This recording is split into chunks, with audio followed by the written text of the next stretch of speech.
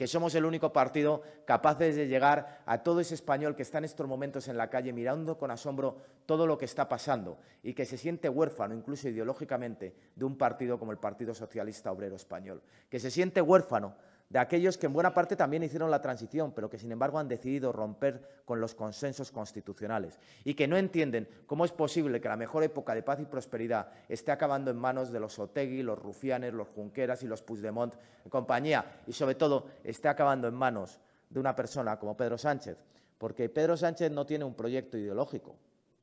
Su ideología comienza en Pedro y acaba en Sánchez. Tiene un proyecto personal que es el ejercicio obsesivo e invasivo del poder, la permanencia a todo coste. No hay nada más que le interese a Pedro Sánchez. Y eso al coste de que en estos momentos sean decisivos en el Gobierno de España todos aquellos que quieren romper con nosotros y que quieren acabar con nuestro modelo de convivencia. Por eso es tan importante que lleguemos a las calles, por eso es tan importante que lleguemos hasta el último de los ciudadanos, Conrado, por eso es tan importante que hasta el último de los logroñeses sepa cuál es tu proyecto, que es un proyecto de convivencia, de eficacia, de gestión, de resolución de problemas, de cercanía, de capacidad de llegar hasta la última de las preocupaciones porque eso es lo que te ha identificado en tu carrera política. Eso es lo que has hecho durante tu trayectoria, ya fuera en el ámbito nacional, regional o incluso aquí en el local en los últimos años.